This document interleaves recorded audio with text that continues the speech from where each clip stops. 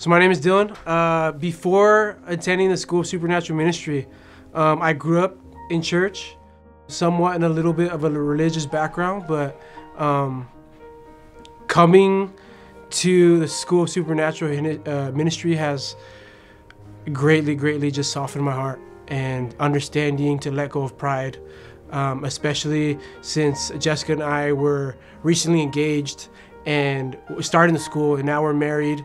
Now we're three months married and uh, it the school just allows you to understand and grasp like the difference of what it's like to uh, serve jesus but now just becoming friends and actually having the companionship of of who you are your identity of, of him as a friend not just uh, a person with a, thunder, a thunderbolt in heaven you know?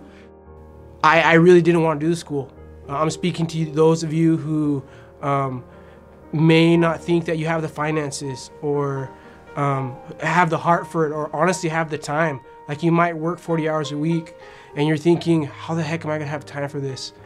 Jesus will provide that. Let me tell you, like, it was like two weeks from signing up and I was just like, God just revealed to me why I want to do the school.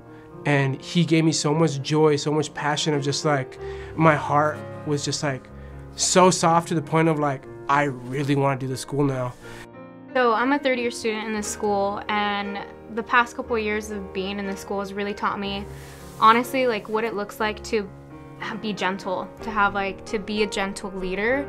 And um, I'm brought back to Proverbs where it says like the woman she speaks with kindness. And I, I was not kind to be blunt. And um, just really kind of similar to Dylan, really letting the Lord just soften my heart. And, um, sorry. and just like letting Him show me that it's okay to let the guard down. Like it really is okay.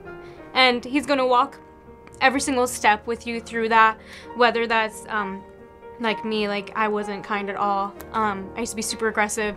So He's gonna walk through every single step with you and um, step with you. And that's honestly like the biggest takeaway so far that I've had with the school is just allowing the Lord to soften my heart and just speak to me and really show me what it's like to lead from a servant's heart. Mm.